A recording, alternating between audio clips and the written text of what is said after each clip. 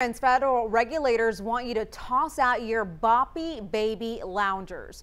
In 2021, 3 million of these loungers were recalled after eight babies died using the product. While the Consumer Product Safety Commission warned babies could suffocate. And today it issued a new alert after the product was linked to two more deaths.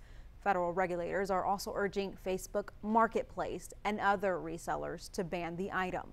The loungers have now been linked to a total of 10 infant deaths.